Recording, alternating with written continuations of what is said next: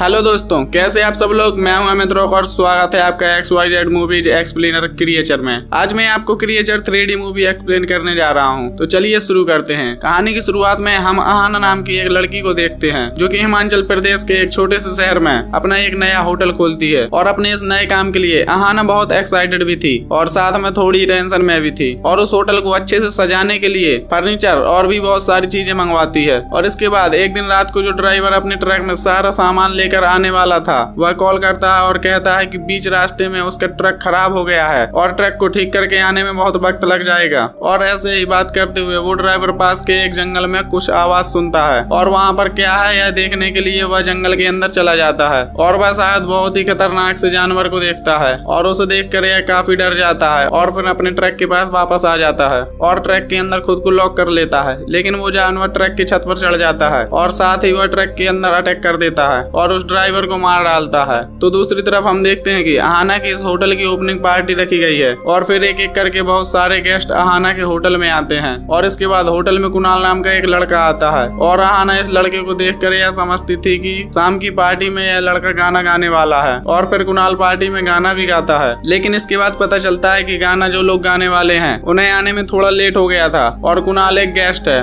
और अहाना को जब इसके बारे में पता चलता है तो शर्मिंदा होती है और उसे सॉरी कहती है। इसके बाद देखा जाता है कि एक न्यूली मैरिड कपल रहने के लिए आए थे और वह लोग पास के ही जंगल में पिकनिक पर गए थे और जंगल के अंदर कोई जानवर इस कपल पर हमला कर देता है और इसमें वह आदमी तो मारा जाता है, लेकिन उसकी वाइफ किसी तरीके से बच जाती है, लेकिन वह काफ़ी घायल थी और उसे हॉस्पिटल में एडमिट किया जाता है। और आहाना को जब इसके बारे में पता चलता है तो आहाना उससे मिलने के लिए हॉस्पिटल जाती है और उस लड़के के पिता भी वहाँ पर पहुँचते हैं, जो की आहाना को बहुत बुरा भला सुनाते हैं, क्योंकि उनकी बेटी और दामाद आहाना के होटल में रहने के लिए आए थे। और इसी जगह पर उन लोगों के साथ इतना बुरा हादसा हो गया। और इसके बाद सबको यह पता चल जाता है कि इस जंगल में कोई बहुत ही खतरनाक जानवर रह रहा है। और जिसकी वजह से यहाँ पर रहने वाले सभी इंसानों के लिए जान का खतरा है। इसलिए आहाना के होटल में जितने भी सारे गेस्ट थे, उन सबको बाहर जाने से मना कर दिया जाता है। और सभी गेस्ट इस बात से परेशान होते हैं, क्योंकि वह लोग यहाँ पर घूमने के लिए आए थे। और अगर जंगल में ही वह लोग नहीं जा सकते तो फिर यहाँ पर रहने का कोई फ़ायदा नहीं। और इन सभी बातों से आहाना बहुत परेशान होती है, क्योंकि अगर गेस्ट यहाँ पर रहने के लिए मना कर देंगे और चले जाएँगे तो उसका होटल धीरे धीरे बंद हो सकता है। और कुणाल ये सब कुछ देख कर आहाना की हेल्प करने के बारे में सोचता है और वह अपने जान पहचान के कुछ हंटर्स को बुलाता है। और फिर यह देखा जाता है कि वह हंटर्स एक चीता को मार कर लाते हैं, जो देखकर सभी बहुत खुश हो जाते हैं। और आहाना को भी यह देखकर तसल्ली हो जाती है कि अब उसका काम अच्छे से चलना शुरू हो जाएगा।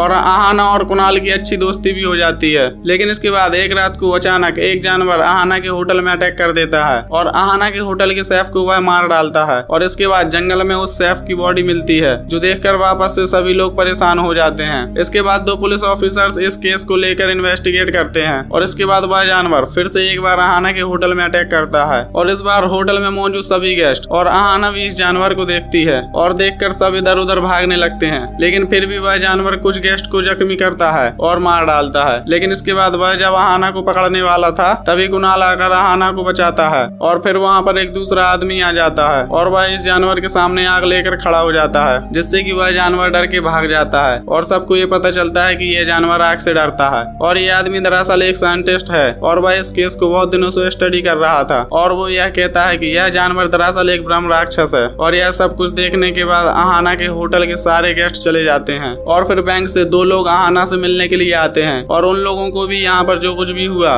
उसके बारे में पता चलता है। और वो लोग आहाना को यह कहते हैं कि आहाना यह होटल बेच दे, क्योंकि उसके पास इतने पैसे नहीं है, वह बैंक का लोन चुका पाए। लेकिन आहाना उन लोगों से कहती है कि, तुम लोगों को कोई भी स्टेप लेने से पहले मुझे नोटिस भेजना चाहिए था। और फिर वह उन लोगों को वहाँ से निकल जाने के लिए कहती है। दूसरी तरफ़ कुणाल उस प्रोफेसर से जाकर मिलता है और प्रोफेसर कहता है की, इस जानवर को मारना इतना आसान नहीं है। और अगर तुम लोग अपनी जान बचाना चाहते हो तो यह जगह छोड़कर चले जाएँ। और यह प्रोफेसर इस जानवर को हराने का कोई न कोई रास्ता ज़रूर निकालेगा। लेकिन आहाना यहाँ से जाने के लिए तैयार नहीं थी। वो इन सब का मुकाबला करना चाहती है। इसके बाद आहाना कुणाल को अपने पास्ट के बारे में बताती है। आहाना बताती है कि कुछ साल पहले उसके पिता को कुछ बिल्डर्स बहुत परेशान कर रहे थे। यह कहकर कि उन्हें उनका घर कंपनी को बेचना पड़ेगा। लेकिन आहाना के पिता अपना घर नहीं बेचना चाहते थे। इसलिए वह बिल्डर्स उन लोगों को आए दिनों परेशान करते रहते थे। और इसके बाद आहाना के पिता ने हार मानकर सुसाइड कर लिया था। और अपने पिता की यह हालत देख कर आहाना बिल्कुल टूट जाती है। और इसके बाद ही वह डिप्रेशन में चली जाती है। लेकिन वह अपने आप को संभालती है। और यहाँ पर आकर नए तरीके से अपनी ज़िंदगी शुरू करना चाहती थी। लेकिन अब उसमें भी इतने सारे प्रॉब्लम्स आ गए हैं। इसके बाद आहाना, कुणाल और प्रोफेसर इस जानवर को हराने के बारे में सोचते हैं और वह सब एक साथ काम करने लगते हैं। और जो दो पुलिस ऑफिसर इस केस को इन्वेस्टिगेट कर रहे थे, वो भी इसमें इन लोगों की हेल्प करते हैं और फिर वह लोग एक तरकीब निकालते हैं। वह लोग एक बस के अंदर एक डमी को रखकर उसके ऊपर कुछ मांस लगा देते हैं, जिससे कि वह जानवर इसकी स्मेल से अट्रैक्ट होकर इस बस तक आए और वह लोग उसे मार सकें। लेकिन जब वह जानवर यहाँ पर पहुँचता है तो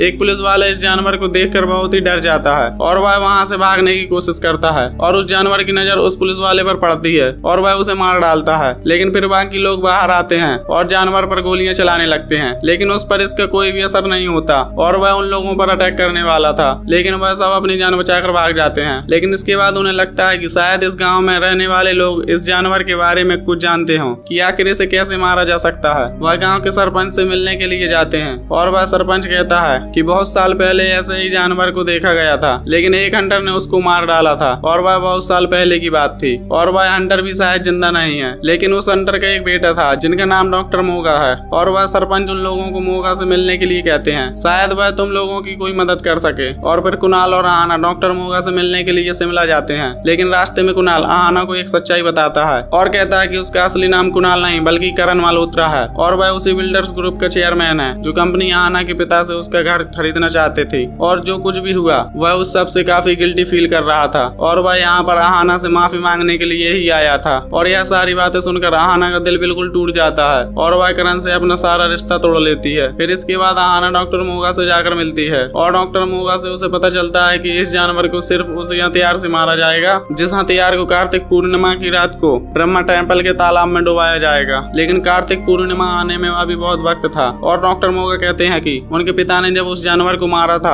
तब उन्होंने एक राइफल का यूज़ किया था और उन्होंने तीस बुलेट्स को उसी तालाब में कार्तिक पूर्णिमा की रात को डुबाया था और उनके साथ और भी बहुत सारे लोग थे, लेकिन एक एक करके सभी मारे गए और आखिरकार डॉक्टर मोगा के पिता ही ज़िंदा बचे थे और उन तीस बुलेट्स में सिर्फ़ तेईस का इस्तेमाल उस जानवर को मारने के लिए किया गया था और अभी भी उन लोगों के पास सात बुलेट्स बचे थे और डॉक्टर मोगा वो राइफल और बुलेट्स आहाना को दे देते हैं ताकि वह इस जानवर को मारने के लिए इसका इस्तेमाल कर सके। इसके बाद देखा जाता है कि आहाना प्रोफेसर और राना, ये जानवर जिस जगह पर रहता है वहाँ पर पहुँचते हैं और उसे मारने की कोशिश करते हैं। लेकिन एक एक करके राना और वो प्रोफेसर उस जानवर के हाथों मारे जाते हैं और वह जानवर आहाना पर अटैक करने वाला था। तभी वहाँ पर करण आ जाता है और वह आहाना को बचा कर ले जाता है और आहाना करण से मिलती है और उसे पुरानी बातों के लिए माफ़ कर देती है और वो लोग उस जानवर को मारने का फैसला करते हैं और उनके पास अभी भी तीन बुलेट्स बचे थे और फिर वह दोनों एक प्लान बनाते हैं और आहाना वह जानवर जिस जगह से बाहर आता है, उस जगह से लेकर अपने होटल के अंदर तक अपना हाथ काट कर खून डाल देती है, जिससे कि वह जानवर खून को स्मेल करते हुए उस जगह पर आकर पहुँचे और वह लोग उसे बुलेट से मार डालें। और ऐसा ही होता है। वो जानवर आहाना के होटल में पहुँचता है, लेकिन इसके बाद जब आहाना उसे शूट करती है तो दो बुलेट्स उस जानवर को नहीं लगती। लेकिन फिर आखिर में करण की मदद से आहाना उस जानवर को आखिरी बुलेट से मारने में कामयाब हो जाती है। इसके बाद हम देखते हैं कि कुछ दिन बीत चुके हैं और आहाना का होटल रीओपन किया जाता है और फिर से उसके होटल में गेस्ट आने लगते हैं। और हम यह देखते हैं कि आहाना और करण दोनों एक साथ हैं और आहाना की ज़िंदगी से सारी परेशानियाँ जा चुकी हैं। और भाई अब खुश है। और इसी के साथ यह कहानी खत्म हो जाती है। तो दोस्तों, आपको ये एक्सप्लेनेशन कैसा लगा? अगर अच्छा लगा हो तो कमेंट बॉक्स में ज़रूर बताएँ। वीडियो को लाइक और चैनल को सब्सक्राइब ज़रूर करें। Thank you